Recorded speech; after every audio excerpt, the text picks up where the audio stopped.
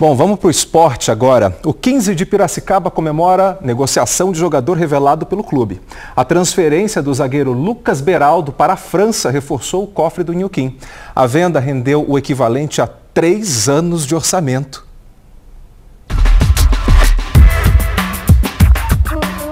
Que ano teve o Lucas Beraldo, titular da zaga do São Paulo e campeão da Copa do Brasil em 2023?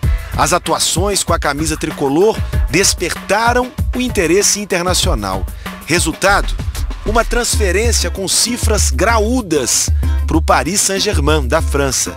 Cerca de 20 milhões de euros, mais de 100 milhões de reais. Essa é a ideia da, da base, é formar atletas para a gente, para o clube ter uma receita, ou pelo menos que a, que a segunda é, formar atletas para ter o elenco principal. A venda de Beraldo impacta os cofres do 15 de Piracicaba, onde o zagueiro começou a carreira.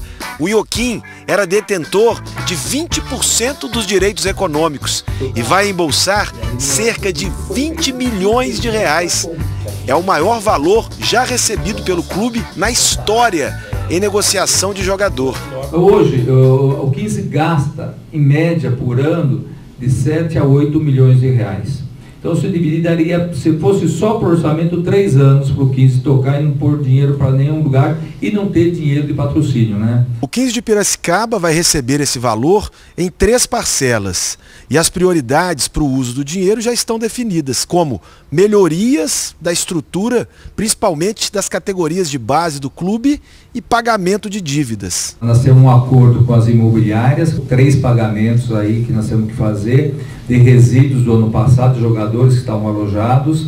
Nós temos hotéis que quando o jogador vem, os primeiros três, quatro dias até achar um apartamento, vai para o hotel. Nós temos um hotel também que já estamos atrasado, atrasado e atrasado e estamos tentando compor e não sobra dinheiro para pagar o hotel. Nós temos alguns acordos trabalhistas que nós estamos pagando mensalmente e esse não dá para atrasar. O que está numa situação terrível, terrível em todos os aspectos é, estrutural, financeiro, é, campo, é, base. Nós temos que reverter uma boa soma disso daí dentro de um planejamento. Eu sou contra, muito contra falar, nós não vamos investir, sair falando que vai comprar jogador, que vai investir em jogador, esquece isso daí. Além do planejamento financeiro, o 15 trabalha para começar a temporada 2024 dentro de campo. O Joaquim vai disputar a Série A2 do Campeonato Paulista a partir de 17 de janeiro.